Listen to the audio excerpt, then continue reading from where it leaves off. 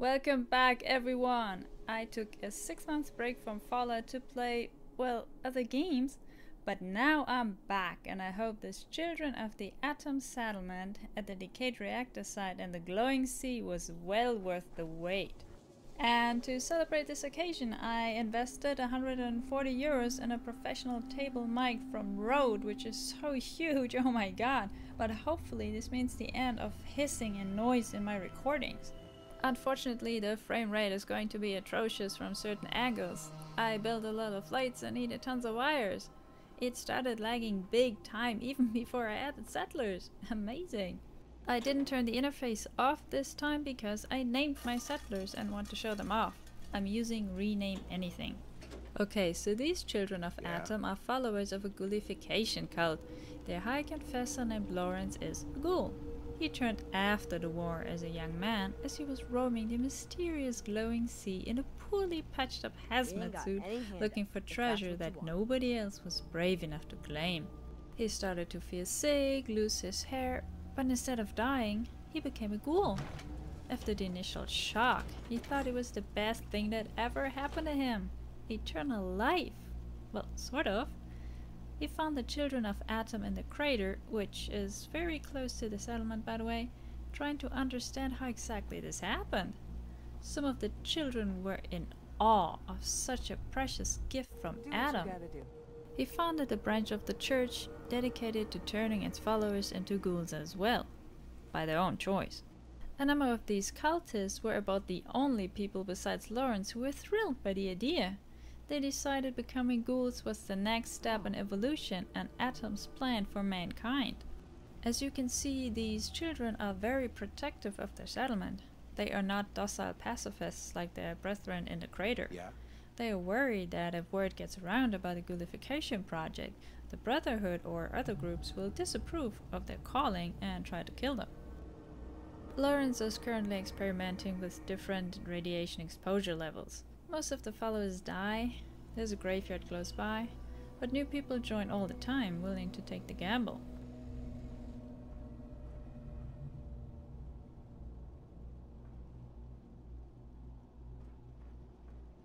This makeshift shack shower is from a tiny but cool showers mod.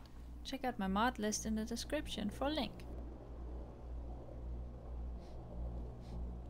And the blacksmith is not at her workstation. Sorry about that.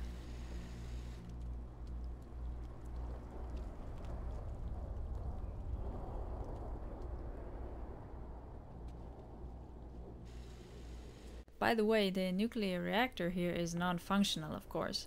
They put a generator inside, hence the black smoke. It's make-believe, but who cares, right? Now, truth be told, the chief motivation behind this movement was a little girl that Lawrence rescued from a group of feral dogs shortly after he turned into a ghoul. She was six years old and didn't mind his appearance. Her name was Lillian, or Lily as Lawrence called her. They traveled together and quickly became a scavenging duo. Over the years, he realized that anybody he cared about would die the thought of losing his adopted daughter made him wish there was a reliable method of turning people into ghouls, so that they could be together forever. When the girl was all grown, she agreed to be a test subject. She believed in him. By that time, Lawrence already had a small following who were eager to see if his methods worked. Dozens died before he dared expose his daughter to the treatment. A sort of cult had formed around the desired transformation of the girl who charmed everyone. They fantasized about her becoming a sentient, glowing one, a sort of god in their confused minds. They were eager to die for her. It didn't work, and she eventually died. Devastated, he wanted to give up and die right there beside her. During her last days, he kept her hidden, locked away. He didn't dare tell the followers that Lily was dying. He was grateful for their faith and sacrifice. So he decided to continue his experiments in her memory. However, he knew he wouldn't find enough volunteers if he revealed his ultimate failure. So, after the 23-year-old girl took her last breath, he snuck out of the settlement, burned her body out of sight, took the box with the ashes, and headed for Goodneighbor to talk to his buddy Hancock about an actress willing to masquerade as his transformed daughter. He did find a woman who was moved by his story and agreed to help him. On their way back to the glowing sea, he told her everything about his adopted daughter, and when the transformed girl revealed herself to the followers, they bought the ruse. They bought it because they wanted to believe it. The ghoul version of Lillian liked her charm if one paid attention, but nobody did, and after a while few people who once knew her were still alive. And so the ghoulification cult around reborn mother Lillian began, and Lawrence became a legend among the children of Atom. All of this happened 37 years ago. Nobody else has managed ghoulification yet. surprise, surprise! But there's one woman who looks promising actually, and we will pay her a visit shortly. Yeah, a lot of people have died for Lawrence's dream. One could argue it's a suicide cult more than anything, but the children don't look at death the way we do, so all this dying is totally fine by them. I spent a lot of time handcrafting my children of Atom. Took me about 10 hours on top of the maybe 70 I already spent on the actual settlement. As you may know, it's not possible to modify a settler's appearance, but there's a mod called Spawnable Unique Settlers that lets you spawn settlers with a unique reference ID via console that you can then customize in the looks menu like your own character. All these settlers spawn with the same face, one male, one female, and to keep track of which IDs you've already used, you need to write them down somewhere. It can get really messy if you don't. The mod itself works flawlessly though, and I can't believe I discovered it so late. Like, oh my god, all the new possibilities for role-playing that have opened up. I can now create real raiders with scars and face paint. The mod was godsend for my children of Atom too. None of the usual settler mods have the falling out hair in their algorithm. Look at my cool herbalist from a mod I discovered recently called Gatherers Out There. It's gonna be the coolest mod created for Fallout 4 to date. Really, what it does is it lets you assign settlers as herbalists, hunters, and scavengers via their unique workstations. They will hunt and gather resources in real time. They will actually go out and do the task. You can follow them to one of the surrounding landmarks. Their radius of operation is fairly large, about 9 map squares, I believe. Any scavenging station you have in your workshop, vanilla or from a mod, can be converted into a gatherer's out there workstation. This means I could make my super mutant scavengers go out into the Commonwealth. I followed them from Murkwater to Quincy where we fought all the raiders there together. Isn't this the coolest mod ever?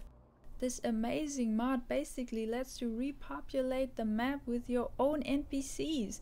You will now meet your settlers out in the world going about their business. Hunters will form hunting parties on their own if there are unemployed settlers. Sometimes they bring back a temporary hunting pet. One day a glowing mongrel in full armor greeted me. Seriously, how cool is that? You can also ask hunters to come assist you on your hunt. It's incredible. I've converted settlers from my previous settlements and I can't wait to meet them on my own scavenging runs. Do check out this mod, please, you won't regret it.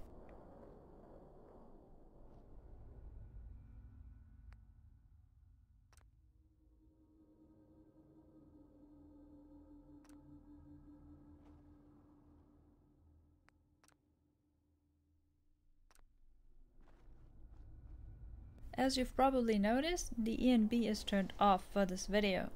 The one I'm usually using, Photorealistic Commonwealth, turns the glowing sea into reddish brown ugliness. It subdues all light sources and simply doesn't look great in certain locations. I'll turn the ENB back on during my end of video flyby, so you'll be able to judge for yourself. I'm always building with the ENB turned off anyway, and by now, I gotta say, I've gotten used to vanilla so much then I now kind of prefer it over the sharp and ENB with its reddish tin. You hear about that farm run by ghouls? Isn't that something? I might try a lightweight ENB in the future that preserves the vanilla colors and just makes them a bit more vibrant. There was a recent red scorpion attack as you can see. At first I thought these modded glowing sea settlement locations don't get attacked at all because my institute base has never been attacked, not once. No critters around, nothing, just peaceful.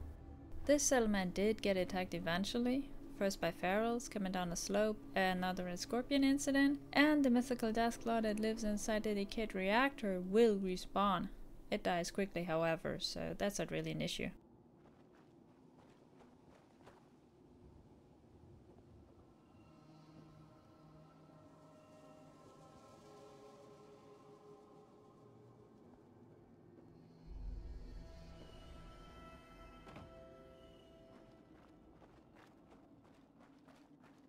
Here's another of my upgraded scavengers. The mod changes the settler's name to their respective the job, and once they have the new name you cannot override it with rename anything anymore. I spent a lot of time setting up the structure inside the right hand reactor. At first I just couldn't get it to look good. I'm still not 100% happy with it, but I hope you like it. But first, let's have a look at the home of High Confessor Lawrence and Reborn Mother Lillian.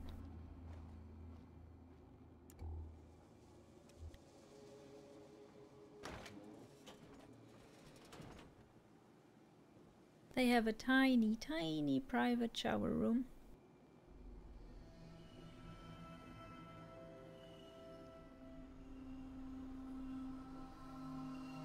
The building is rad-free thanks to radiation cleaning fan.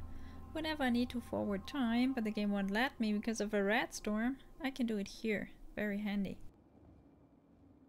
Great view over the followers living below.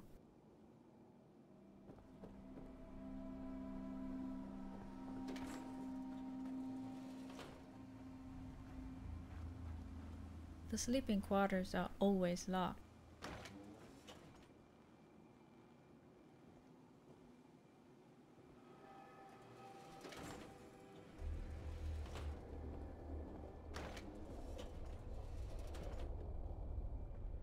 These are the ashes of poor Lily, hidden from the eyes of the children, and there's a picture of her inside a locket.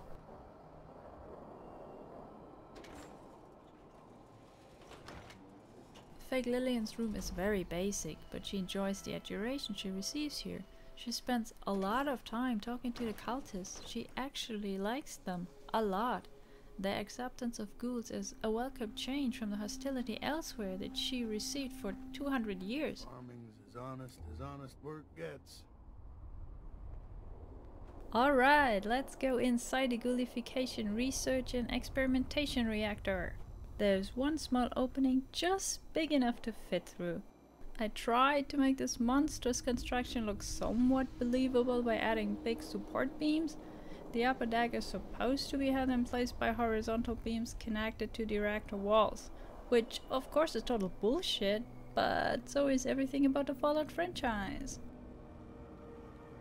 These are the treatment chambers. The settlers receive concentrated radiation through the release of these traps.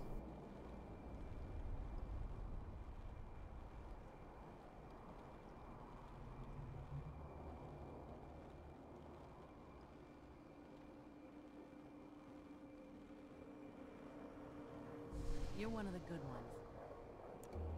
This is Sister Audrey, our most promising test subject. As you can see, she's been through a lot of treatments already, but maybe she'll become the first true reborn mother.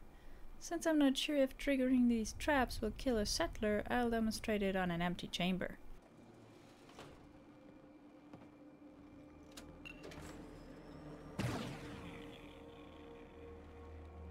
Getting the wall conduits to fit onto the chairs was extremely fiddly work. Ugh. These are preparation chairs that shoot cells into the body so that the test subjects don't die immediately. Again, I glitched the cells onto the chairs.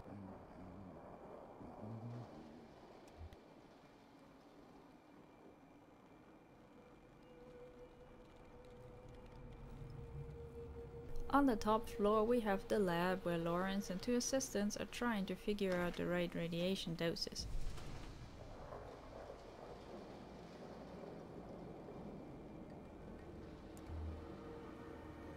Hey. Sister Loretta is a true child of Atom and immune to radiation. She's just old now. She was once a member of the children inside the crater. This school is not static and will despawn soon. The guy who made that wasteland added placeable corpses at my request, but they still despawn sadly. I'll talk about the scheduled dispatcher in another video. It's not really relevant for the settlement.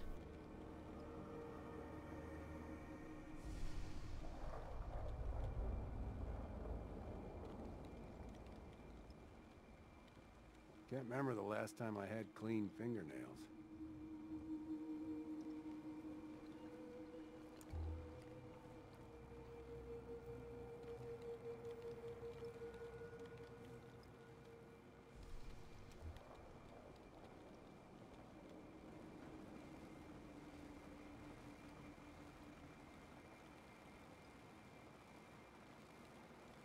This is just a small lookout without much use outside of maintenance repairs.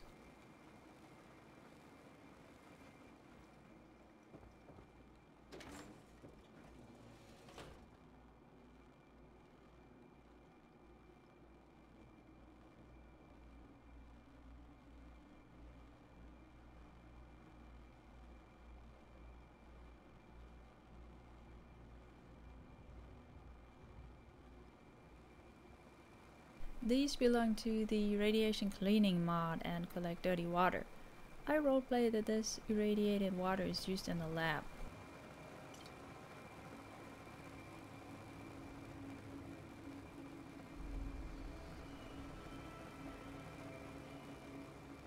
There's no access to those on top of the other reactor. I guess they climb up there to get the water or something. If you're wondering how Lawrence got the money and resources to build all this, Let's just say Hancock is a big supporter of the ghoulification project and has poured a ton of caps into this endeavor.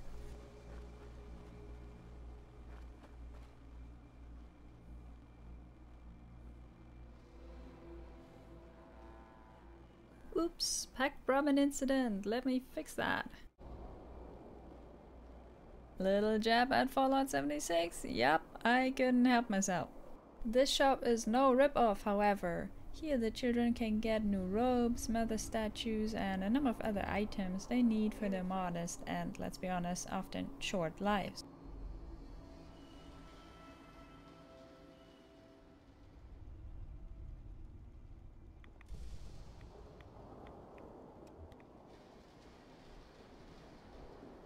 Ground Zero is obviously the bar, I installed decontamination arcs that one could roleplay or spray an extra oh. layer of rads onto the cultists before they sit down to sip their nuclear cocktails.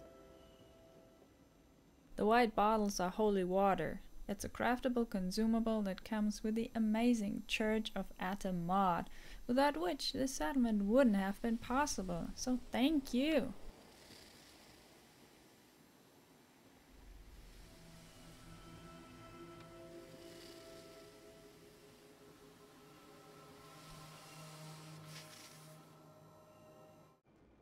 The other reactor is the actual church, where Lawrence holds the sermons, and reborn Mother Lillian can be observed in all her glory. You know what I call a good day? One that ends without an empty stomach.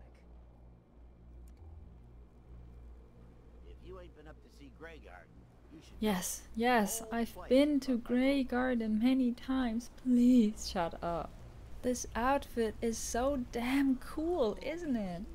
The throne belongs to the mod Far Harbor Decor. I added a front beam because otherwise the faction cloth was floating in the air. Life's hard, but it's ours. That seems right.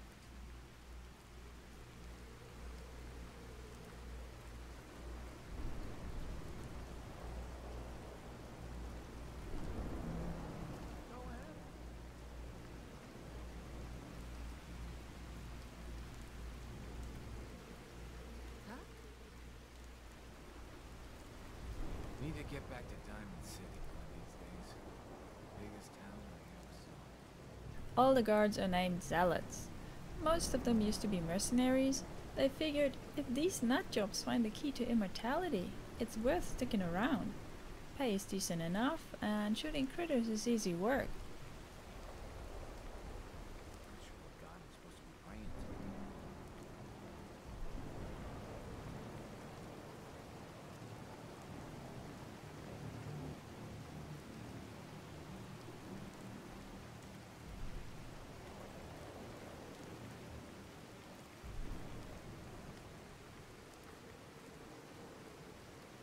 Yes, one toilet for over 30 cultists. Don't think about it.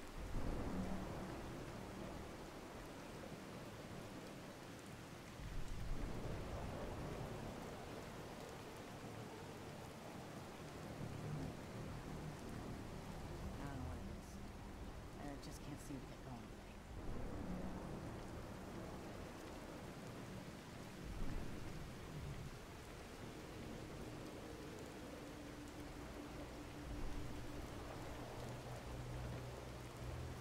Nobody has enough to eat. Can't you do something to help?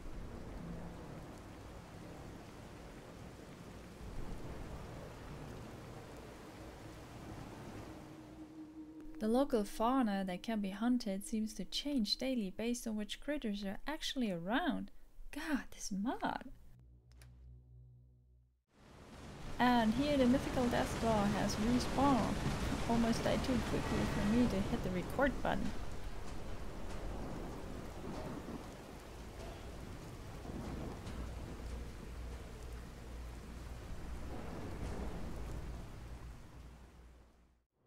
Let me show you a few more faces previously missing in action. Brother Warren reminds me a bit of an old Jake Gyllenhaal, or, or is that just me? Ah, here's the blacksmith finally! Clarence is one of two adult farmers. Three kids do the rest of the farming. Alright, let's follow Scavenger Melvin to his destination so that you can see what that looks like. It's mostly just a slow ass walk. I cut it a bit, so I hope it's not too boring. I was surprised that this mod even works in the glowing sea, but sure does. Out here there's reduced landmarks density, and maybe that's why scavengers often return empty handed, but the hunters do hunt and the herbalist does find stuff.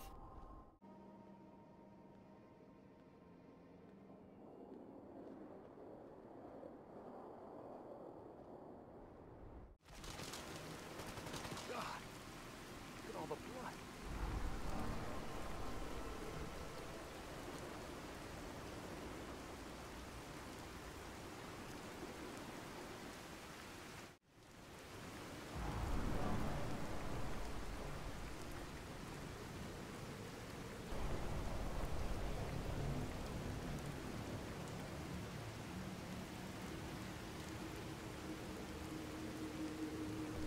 Herbalists have a crouch animation.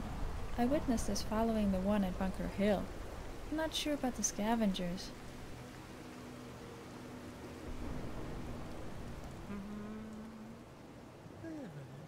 As you see here, Melvin just stops and walks back instead of going inside the cabin, which I assume was his destination. Still, cool, cool mod.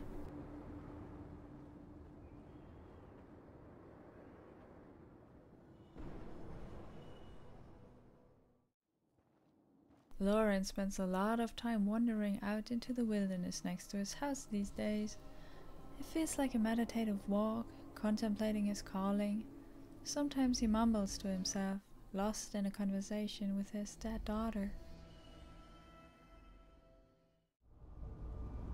And here's the usual bird's view angle of the settlement, this time with the ENB turned on.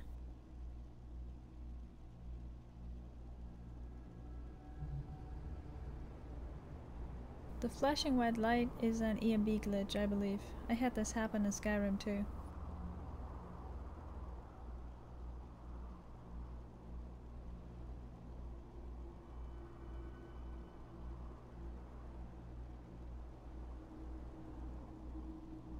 This was one of the most time consuming settlements to build and this video took forever to make. Let me know how you liked the result in the comments. I've also updated the mod list which now includes the BethesdaNet mod unlocked settlement objects. I feel so dirty for caving in and making an account, but I just needed to have all the things. I've already started working on another settlement weeks ago, the children only fort at Ten Pines Bluff, and the video will be called Little Lamplight Redux. I'm in the clutter phase already, however, it might take a while until it's actually ready.